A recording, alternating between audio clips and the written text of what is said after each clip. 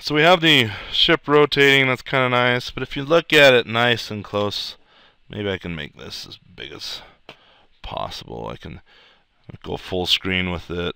Well, there we go. Okay, if I if I turn it, you see it's not turning around its center. And and if if you remember how we built this ship, you should rem you well, maybe it makes sense, maybe it doesn't. Why it's not rotating around its center.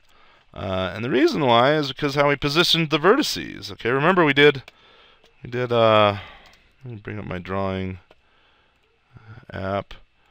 We did this, we did that, and we said uh, the top vert's going to be 1 up from here, and then the bottom left-hand vert is going to be, uh, and I'm, just, I'm going to say 1, but it's really 0.1, but the idea is the same. So it's 1 this way and 1 this way, so over here, and then the other vert is 1 this way and 1 this way. Well, the distance from the origin right here to this vertice is further than the distance from the origin to this vertice.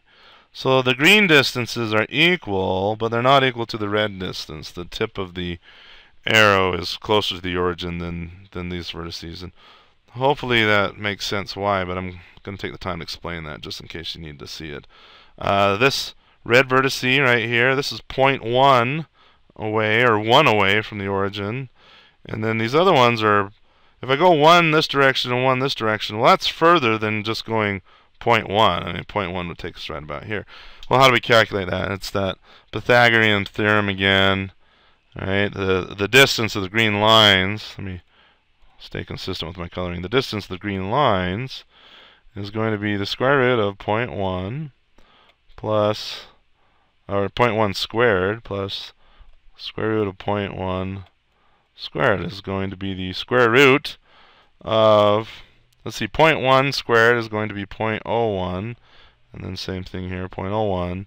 So that's going to be the square root of, of 0.02. Well, what is the square root of 0.02?